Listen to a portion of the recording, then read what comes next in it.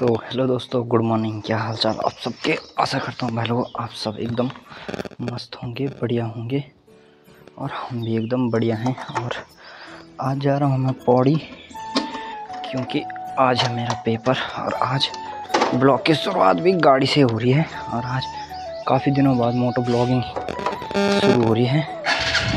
तो टाइम को नहीं करते हैं, वेस्ट और फटाफट से चलते हैं पहले हॉस्पिटल और मम्मी को खाना वगैरह। पिक करा के सीधे निकलते हैं।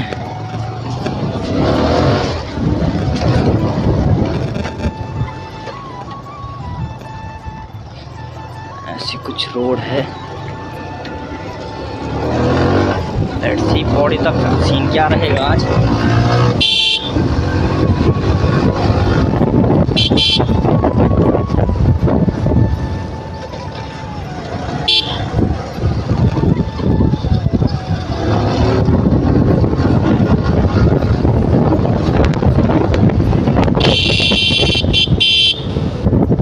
लड़कियाँ देख रहे हो, यहाँ लड़कियाँ बहुत रहती हैं, क्योंकि यहाँ girls hostel and boys hostel है। जहाँ मैं रहता हूँ, वहाँ है बॉयज़ हॉस्टल आज तो अपने पास में खुला है, डरने की कोई बात नहीं। है गुस्सा बहुत खतरनाक होता है भाई। जब गाड़ी रहती है ना, साथ में मज़ा आ जाता है। फटाफट से निकलते हैं, वहाँ आ रखे सुमित भाई, बोले तो शिबू भाई। तो शिबू भाई से मिलाएँगे आपको आज काफ़ी दिनों बाद। काफ़ी रफ्तार से निकलेंगे हम। अरे अपने गार्ड साहब।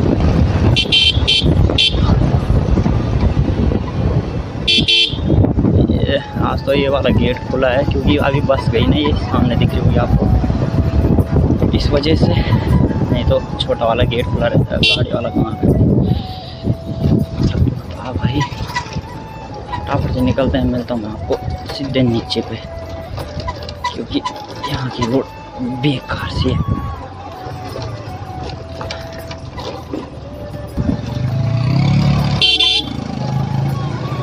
भाई, मेरे क्या कर रहा है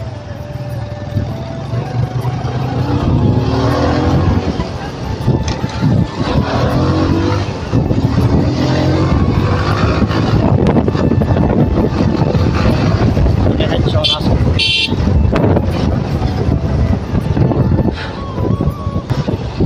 अभी जाना है मेरे को बेस हॉस्पिटल जहाँ मैं अपनी दीदी को लेके आया था उस दिन। उसी के जस्ट बगल में। और फटाफट से निकलता हूँ मैं गाड़ी वाला ओवरटेक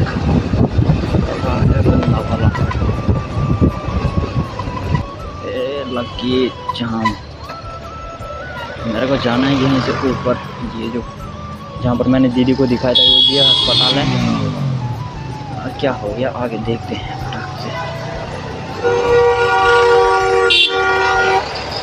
यहीं से मेरे को ऊपर के लिए मोड़ना है।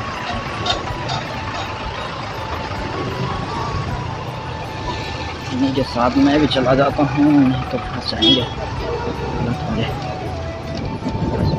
खाना दोस्तों, पहुँच चुके हम, और अभी मेरे साथ पीछे से एक भाई बैठ रखा है तो भाई बहुत ही अच्छा है अपना, और अभी पहुँचने वाले हम पौड़ी, और शिबू भाई मेरा कब से वेट कर रहा है और सबकी हेल्प करनी चाहिए, मैं आपको बताता हूँ। तो इन भाई की मैंने हेल्प की और श्रीनगर से मैं एक बंदे को पिक करके लेके आया आधे तक। तो मेरे को तो यही लगता है कि कोई मेरे साथ सफ़र में मिल जाए बट मैं ये सोच नहीं रखता कि मेरे को लड़की मिले या कोई वैसा, कोई भी हो पिक कर लेना चाहिए। और अभी जस्ट थोड़ा सा है मेरे लिए पौड़ी तो फाइनली दोस्तों, आ चुका आपने शिबू भाई। इन्हें देख रहा है? कितने सालों बाद आज मुलाकात हो रही साल बाद ये अपने भाई जी, ये बना रहे हैं अपने लिए। Non veg momo.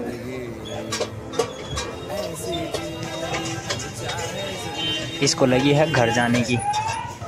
गाड़ी देख रहा है बार बार नहीं आए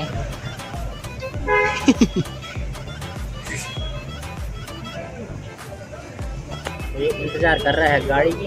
और आज गाड़ी नहीं आती भाई। रहता है यहीं बॉर्डर पे उन्हीं का।